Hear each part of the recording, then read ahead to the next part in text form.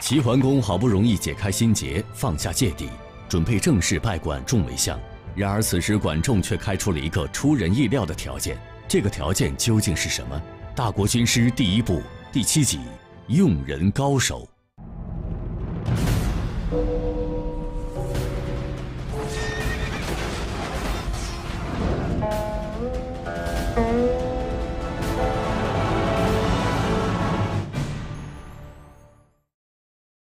从古至今，知人善任，一直是团队建设的关键问题。能否从茫茫人海中慧眼识珠，发现人才，并且善用人才，这关乎一个团队的盛衰，甚至一个国家的兴亡。齐国能在短短几十年间九合诸侯，一匡天下，一跃成为春秋时期第一强国，除了齐桓公的大度开明。与管仲的深谋远虑之外，还有一个更为重要的原因，那就是齐国任用了一批恪尽职守、各有所长的专业人才。管仲一坐上相位，就给齐桓公推荐了哪三位外交使臣候选人。刚刚从危机四伏的鲁国逃出来的管仲，是如何做到对齐国的局势变化了然于胸、洞若观火的？而管仲所遵循的用人之道，又给后世留下了哪些深刻启示呢？山东大学班博副教授做客百家讲坛，为您精彩讲述系列节目《大国军师第一部》第七集《用人高手》。观众朋友们，大家好，今天我们来讲一讲用人高手管仲。上一集我们讲到，经过三天三夜的面试以后，齐桓公对管仲表示。非常的满意，他专门啊洗了个澡，换了身衣服，又派人啊建了一个非常宏伟的拜相台，准备当众拜管仲为相。然而，当齐桓公说明用意的时候，管仲啊又开始推辞了。他说：“主公，我本来就是要被砍头的罪人，能够侥幸的获得了您的原谅而活了下来。”已经是我三生有幸。如果让我管理齐国的国家大事，恐怕罪人是万万不能胜任的。齐桓公一听，肯定不乐意啊！管仲，你开玩笑吧？寡人等了你整整十天呢，现在这十天肥我也减了，澡我也洗了，基建工程我也搞了，突然之间你说不干就不干了，你这是闹哪般呢？更重要的是，经过上次的面谈和交流以后，齐桓公认定自己和齐国无论如何都也离不开管仲了，所以说他恳切地说：“管大夫，如果你接受国家政事，寡人啊就能够胜任齐国国君一职；你要是不接受，寡人恐怕恐怕是要垮台啊！哪里，主公，你言重了。”齐桓公听到这儿，摆了摆手，说：“此事无需在意。”齐桓公心想：“管仲啊，你还和我客气什么呀？这普天之下，难道还真的会有人不想要这个宰相的宝座呀？”然而他万万没有想到，管仲继续和他去讲，说：“主公啊，罪臣还有一事禀告，您要想平定齐国，就必须要建立一番霸业。您如果能够称霸。”齐国就能平定，如果霸业不成，这齐国也就无法安定啊。称霸，齐桓公一听就乐了。他在海外流亡了多少年呢？现在能够坐上齐国国君的宝座，他已经非常知足了。称霸，他还真的没有和任何人提过，甚至在心里边他连想都没想过。于是齐桓公讪讪的笑了一下。他说：“管大夫，寡人还没有想的那么远。我现在只求社稷稳定，国泰民安就行了。可是管仲再三请求称霸，于是桓公就再三推辞称霸。管仲这边是主意已定，态度坚决，一定要称霸。桓公那边是态度诚恳，绝对不行，坚决不称霸。如此一来，君臣两人是你来我往，好不热闹啊！令齐桓公万万没有想到的是，说到动情之处啊，管仲居然当场起身了。他一施礼，说道：“主公啊，说齐国要想安定，就必须要称霸。您现在啊，根本不想称霸，齐国啊，就根本不可能安定。我管仲啊，之所以去干宰相，而没有像少乎一样。”杀身成仁，目的就是为了有朝一日能够去平定齐国。可是您现在不想称霸，齐国就不能够安定。所以说，齐国宰相一职，我管仲万万不能接受啊！说到这里，管仲正色起身，行礼拜别桓公，信步走出大殿。齐桓公一看呢，也是心慌了，他立刻派人把管仲给请回来。过了好一会儿，管仲。人是回来了，可是态度坚决，还是要称霸。管仲的观点就是：你要么用我称霸，要么放我回家。君臣二人啊，又这样交锋了几个回合，齐桓公的汗都下来。管仲啊，管仲，知道你牛，我万万没有想到你这么牛。于是齐桓公看了看群臣，又看了看管仲，苦笑着说：“既然管夫子一再坚持要称霸。”那么我们齐国，我们齐国就勉力图霸吧。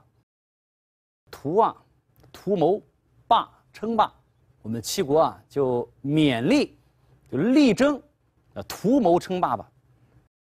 管仲这才再拜稽首，说道：“这主公能够答应让齐国称霸，这是齐国百姓之福啊。我管仲呢，今天也一定会秉承君命，立于相位，竭尽全力。”辅佐齐国称霸。不过呢，我还有一个问题。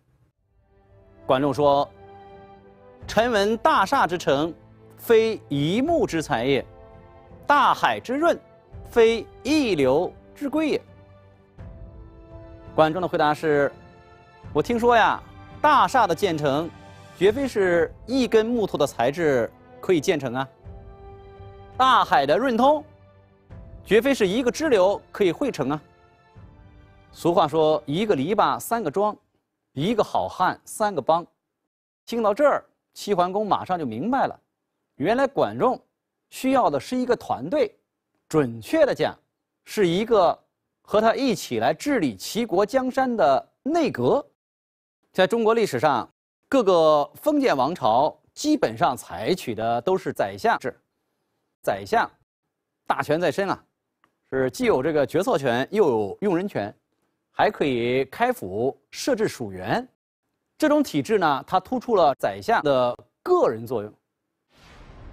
相反呢，内阁制呢是一个团体决策的机制，更加强调权力之间的制衡，发挥内阁的集体智慧，并在一定程度上弱化了相权。真正的内阁制出现在明成祖朱棣的时期，这朱棣啊。选拔翰林院的官员，作为殿阁大学士、随侍，并且参与机密事务的决策。历史上从此以后出现了真正的内阁。可这是两千多年以后的事情，谁能想到在春秋时期的管仲，居然就大胆地提出了类似于内阁的这种想法和主张呢？齐桓公是怎么说呢？齐桓公的答复是。眼下齐国局势动荡，当务之急呢是拨乱反正。管大夫，你的想法我知道。现在呢，需要哪些人和你一起来治理齐国？你呢可以自行组织。寡人只有一个要求，就是时间越快越好。管仲啊，这才许诺下来，再拜，接受了相位。就这样，齐桓公继任之后，齐国的第一任宰相，他的人选才算是尘埃落定。对于齐桓公而言，在经历了颠沛流离、朝不保夕的逃亡岁月后，能够平安回到齐国，顺利坐上王位，已经是莫大的奢求。如今管仲竟然还要他走上称霸天下的道路，这谈何容易？但是对于管仲而言，乱世之中群雄并起，齐国若不趁此时机早日谋得一席之地，很快便会人为刀俎，我为鱼肉，任人宰割。在一番激烈的朝堂争论过后，君臣二人终于达成共识。得到齐桓公承诺后的管仲，开始着手齐国的称霸事业。他的首要工作又是什么呢？那么为相以后的管仲，一开始最重要的工作是什么呢？也就是人事工作。据史料记载，管仲啊为相以后，第一次重大的政务处理，就彰显了他在用人方面的独到之处。朝堂之上。齐桓公和众人一起讨论三个大国的使者人选，哪三个大国呢？那就是鲁国、魏国和楚国。大家讨论的是很热烈啊，热火朝天。然而呢，却是众口纷纭，不一而论。讨论了半天也没有找到一个理想的人选。齐桓公心里边当然很失望了。他看着大家讨论了半天，没有一个结果，于是他就对群臣们说：“既然如此啊，此事就改天再议吧。”万万没有想到，管仲就站了出来，他说：“主公且慢，此事啊，现在就可以谈，又何必改天呢？”齐桓公无奈地说：“你你也看到了，大家到现在为止的话，没有一个统一的观点，有什么事情今天可以定下来呢？”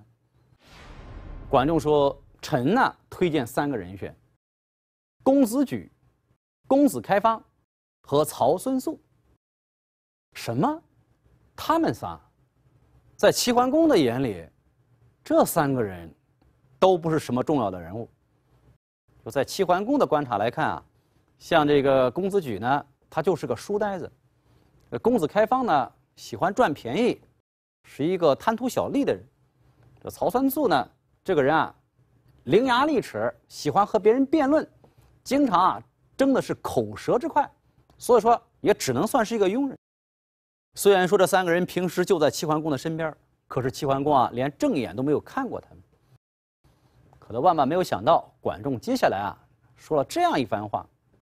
管仲说：“公子举这个人啊，见闻广博，知书达理，而且呢为人好学，又态度谦恭。”身合鲁风啊，和鲁国的风气非常吻合呀，让他出使鲁国再合适不过了。公子开方这个人呢，生性很灵活，爱赚小便宜，但是也善于用力啊。身和魏风啊，就和魏国一带的风气非常吻合呀，让他出使魏国再合适不过了。曹孙宿这个人啊，为人清高，很有个性，喜欢和别人辩论。但是这招恰恰非常吻合荆楚之风啊，让他出使楚国再合适不过了。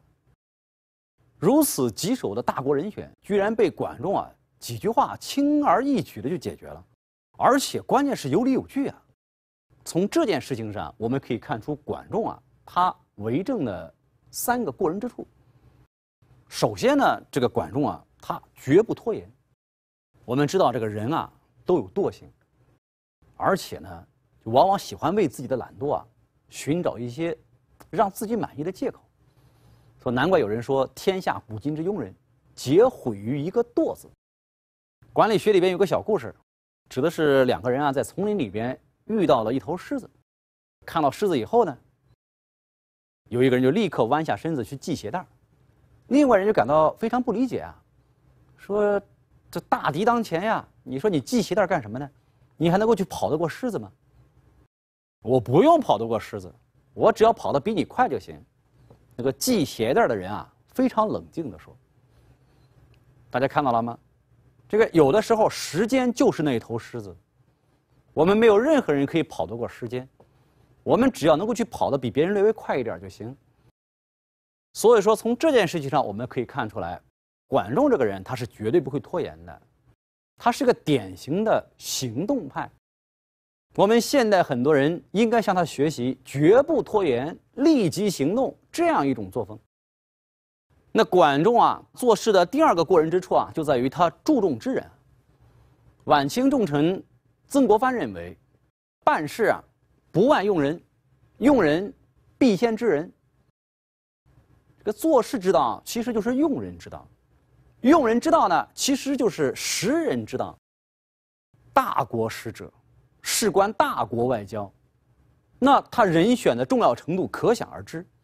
朝堂之上，正当齐桓公和一群大臣一筹莫展的时候，管仲啊却可以不失时机的提出了公子举、公子开方和曹酸素三个并不起眼的人选，这是殊为不易的。大家要想啊，这此时此刻，管仲刚刚是从鲁国回来。他有好多年没有在齐国了，对齐国的情况也不是非常的熟悉，然而他仍然可以做到对一些重要的人选如数家珍、有的放矢。这说明管仲为相之后，把大量的时间和精力都放在去调查和知人上。而管仲做事的第三个过人之处就在于，他善于用人。同为使者，鲁国、魏国、楚国。三个国家的风土人情不同，所以说呢，合适的人选也是自不相同啊。这管仲啊，要把这三个人挑选出来，那首先呢，他要见多识广，能够对鲁国、魏国、楚国的民风，能够去了如指掌，而且呢，他要善于调查，能够对公子举、公子开方和曹孙素这三个人的特点心知肚明。更重要的是，他善于用人啊，他要把正确的人。放在正确的位置上去做正确的事。就这样，管仲啊，刚刚拜相，就立刻展现出了他绝不拖延、注重知人和善于用人的管理风格。于是呢，当着管仲的面，齐桓公呢就把这三个人给叫了过来。经过一番语重心长的谈话，这三个人啊都是非常愉快的接受了齐桓公的任命，带着桓公的重托，踏上了。漫漫的征程，在外交使臣的选择上，管仲出其不意地举荐了三位毫不起眼的人，为齐桓公解决了一大难题。正所谓君子用人如器，各取所长。而那一番有理有据的推荐之词，也让齐桓公心服口服。然而，在组建齐国领导班子的过程中，管仲与齐桓公却产生了分歧。那么这次管仲推荐的是哪些人选？齐桓公的不满究竟从何而来呢？时间过得飞快，一晃三个月过去了，可是管仲那边的阻隔仍然是没有任何的动静啊。齐桓公呢，也实在是等不及了，他就叫人把管仲给叫了过来。两个人一见面，齐桓公呢就开门见山，他问了一个问题，很不客气。说管夫子不知道宰相平时是干什么的。这于是啊，我们上一集讲到的管仲提问法再现江湖。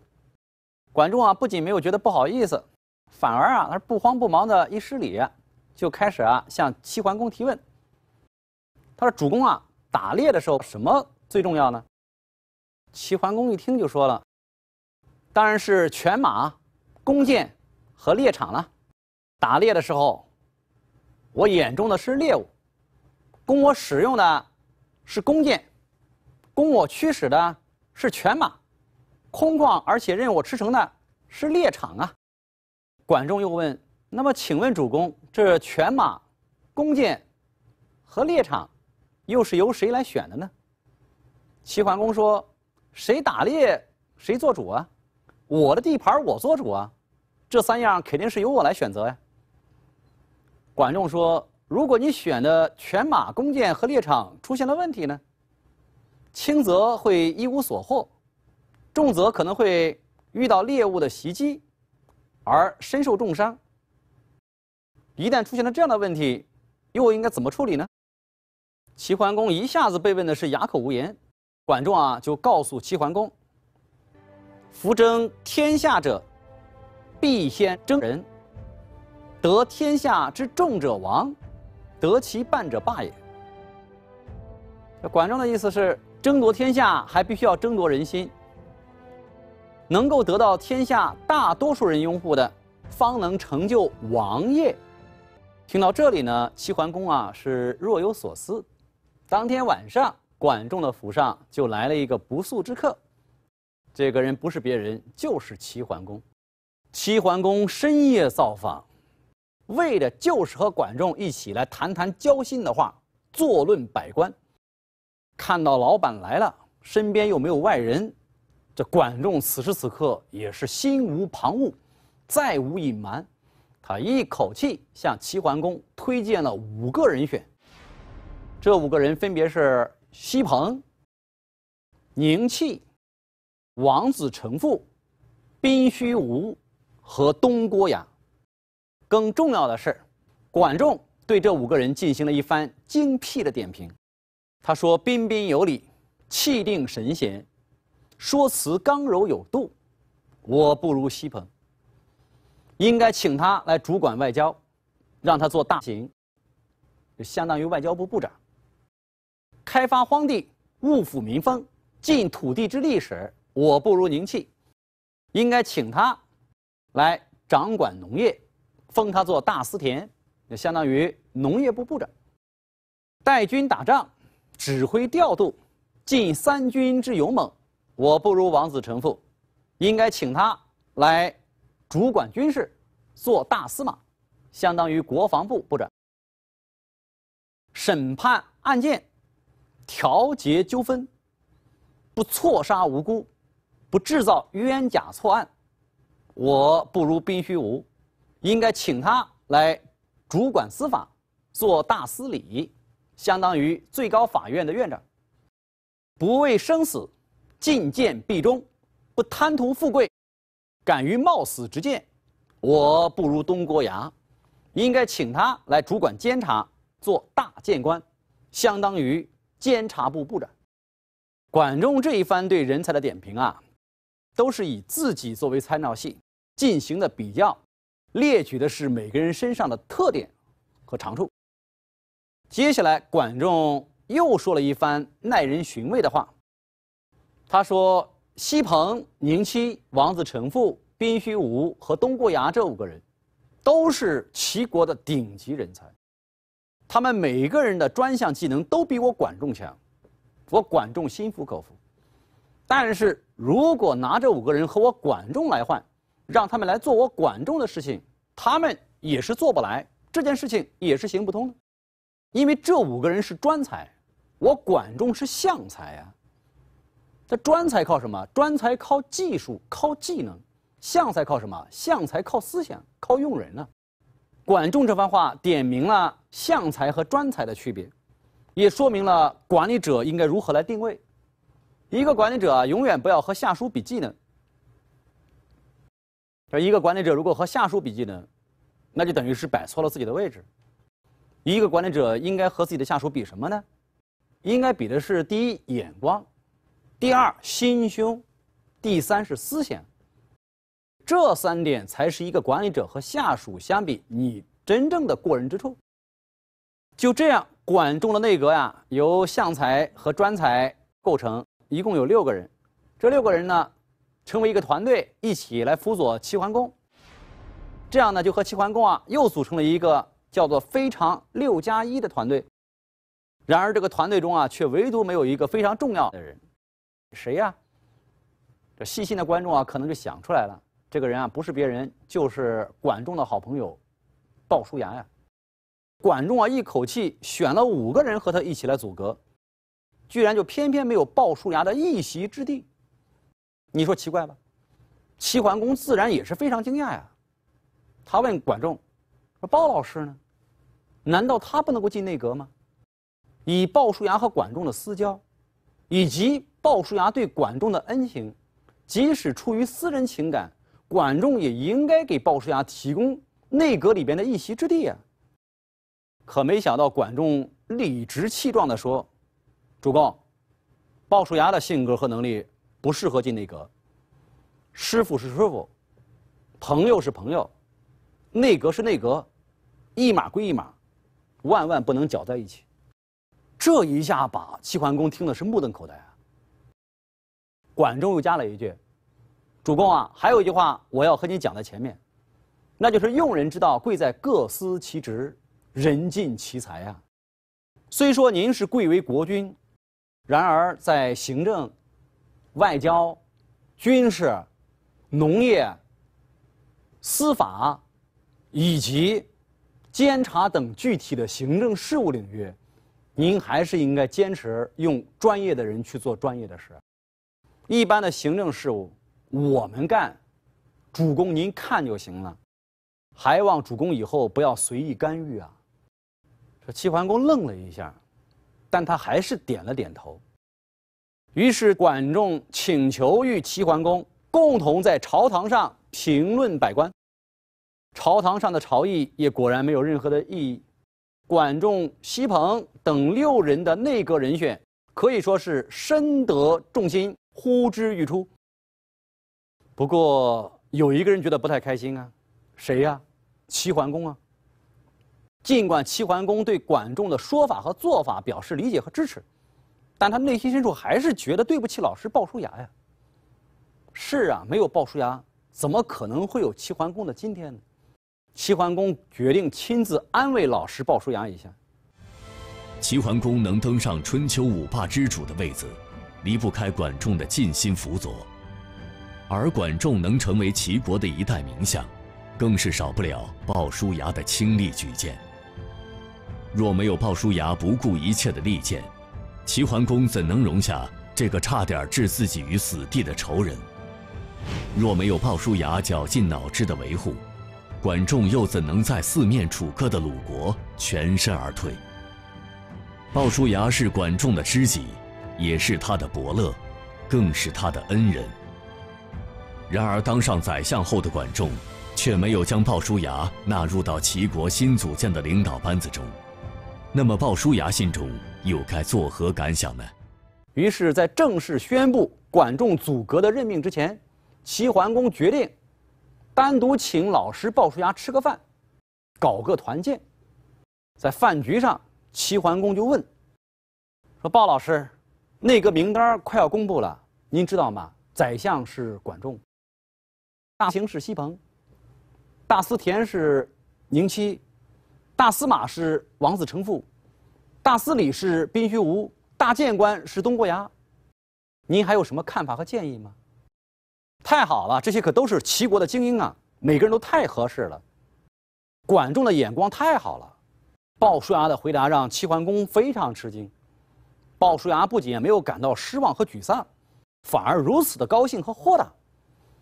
更不可思议的是，他居然还在夸奖着管仲有眼光。齐桓公实在忍不住了，他说：“鲍老师，您可是我的师傅啊，你又救了管仲一命，您还亲自推荐他当个宰相，而他组建的班子里边居然没有您的一席之地，您难道真的不生气？生气？”主公，师傅是师傅，朋友是朋友，内阁是内阁，一码归一码，不能搅在一起。鲍叔牙正色说道：“主公啊，这可就是我为什么把管仲推荐给你的原因了。我和管仲不仅仅是好朋友，也是同事啊。当年把管仲解救出来，可以说我鲍叔牙有私心，但是把他推荐给你去做齐国的宰相。”我是完全的出于公心。管仲有惊天伟地之才，让他干齐国的宰相是他的能力使然，不是我的功劳。主公，你能够成为齐国的国君，也是因为你的能力和天意使然，更不是我的功劳。有了主公这样的学生，有了管仲这样的朋友，已经是我鲍叔牙的幸运了。我又夫复何求呢？鲍叔牙这番话说的是风轻云淡。听了齐桓公是热血沸腾啊！鲍老师，我有您这样的老师，管仲有您这样的朋友，可以说就是三生有幸啊！齐桓公由衷地说。鲍叔牙明白，强敌环伺、内部混乱的齐国岌岌可危。齐桓公要想走出内忧外患的困境，成就一番霸业，必须借助管仲的智慧。无论是军事才能，还是治国谋略，管仲都要远远的超过自己。他是一个做大事、谋大局的大国军师，齐国的未来只能仰仗管仲。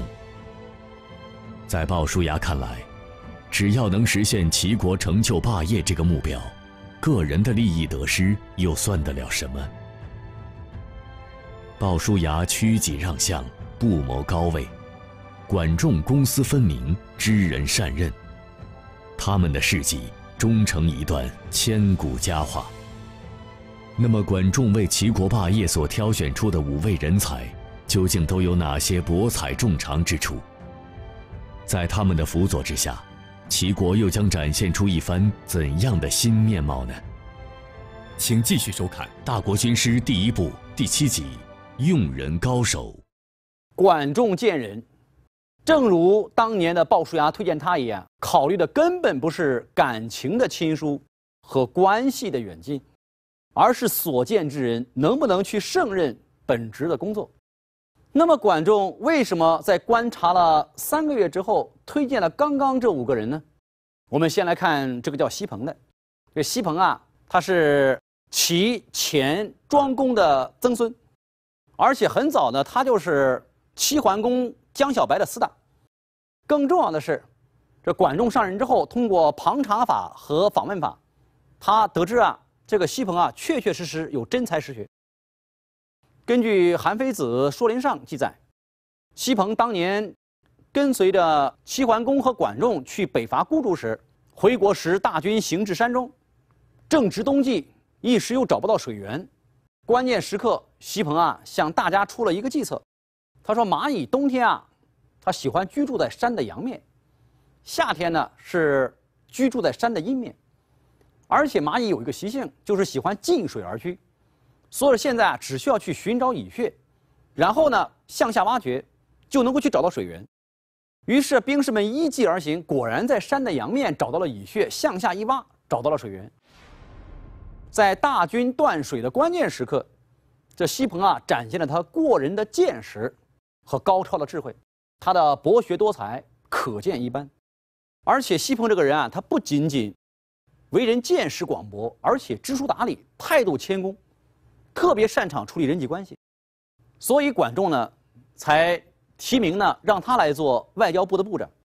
王子成父和宾须无也是如此，尤其是个王子成父，他呢是周桓王的次子，后来呢由于躲避宫廷内乱呢，跑到了齐国，成为了齐桓公手下的一员大将。那么据传呢，这个王子成父也是琅琊王氏的开族始祖。秦朝的大将王坚，据说就是他的子孙和后代。齐桓公要想称霸，没有强大的军事力量是绝对不行的。所以管仲通过认真的调查和仔细的分析比较，举荐王子成父做大司马，主管齐国的军事。这俗话说啊，不看广告看疗效。这个王子成父成为了大司马以后。这个齐军就马上先有败绩，迅速成为了春秋初期一支所向披靡的军队。东郭牙呢是春秋时期齐国著名的谏臣，这个人最大特点就是铁面无私、刚正不阿。管仲之所以推荐他来做谏官，就是因为这个人做事太有原则，也太不害怕得罪人了。管仲自己都没有想到，他举荐东郭牙成为了大谏官。而后来，当齐桓公准备立管仲成为仲父的时候，这带着头第一个出来反对的人不是别人，就是这个东郭牙。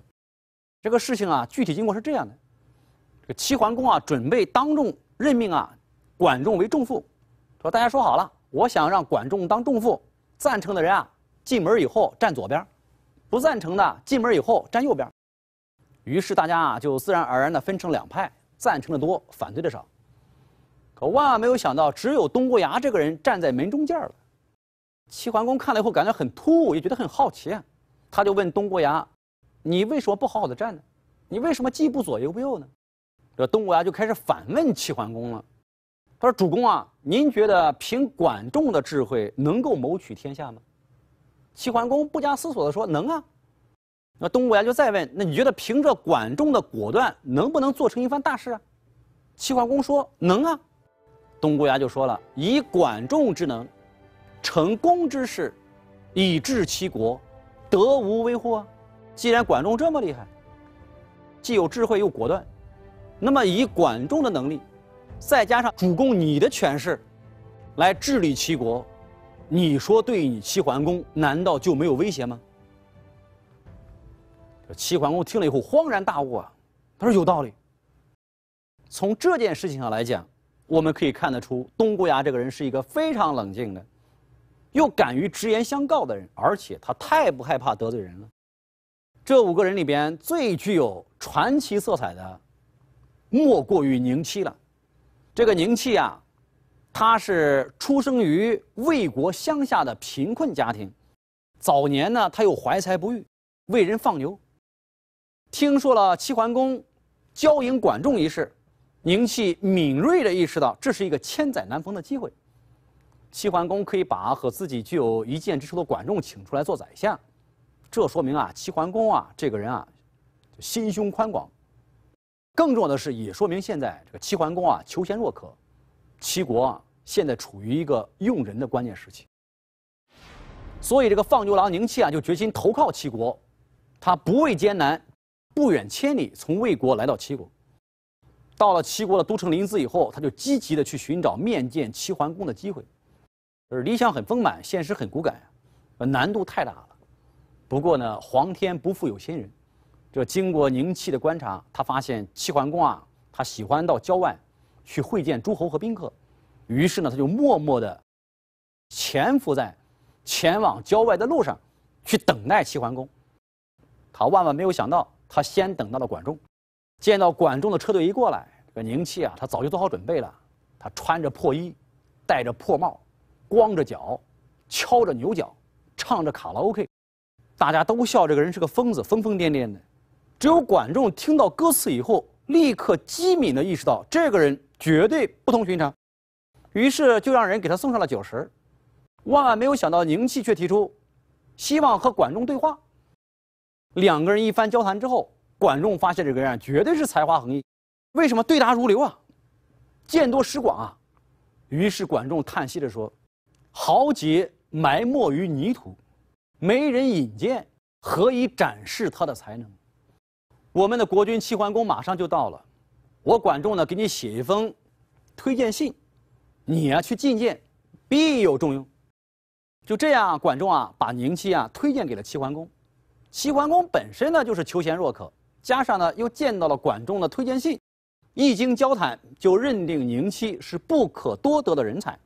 于是这齐桓公啊。不重视资历，不重视出身，力排众议，不拘一格的擢升了宁戚。